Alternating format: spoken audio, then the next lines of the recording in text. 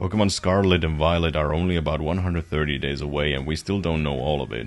There have been lots of leaks already, but most of them are shady, bad quality, or massive YouTubers have already talked about them.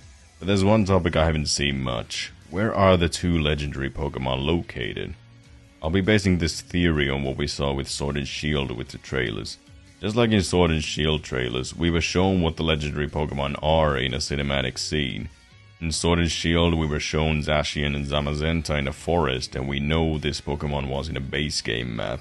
Officially, we have only partial maps of both in-game and real life, but if they were combined, we would have most of the Iberian Peninsula. And since the Balearic Islands are visible and the cinematic showed an island, it's an educated guess that Miraidon and Koraidon are located in one of them.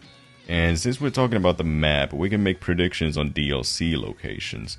We got DLCs in Sword and Shield, Isle of Armor based on the Isle of Man, and Crown Tundra on the rest of Scotland. So it's not far fetched. I'm sorry, I'm sorry. How, how could I not say that? Since the new region map includes both Spain and Portugal, we can look at their overseas territories.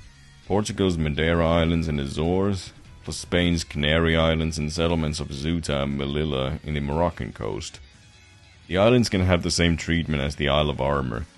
By the way, fun fact, the largest island in the Azores, Sao Miguel Island, is the only place in Europe where pineapples are grown, even though in greenhouses.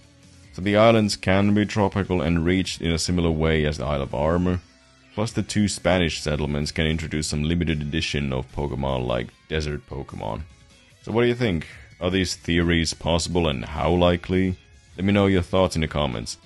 And don't forget to hit the like, subscribe, and share to help my channel grow. I'ma see you guys later. Bye.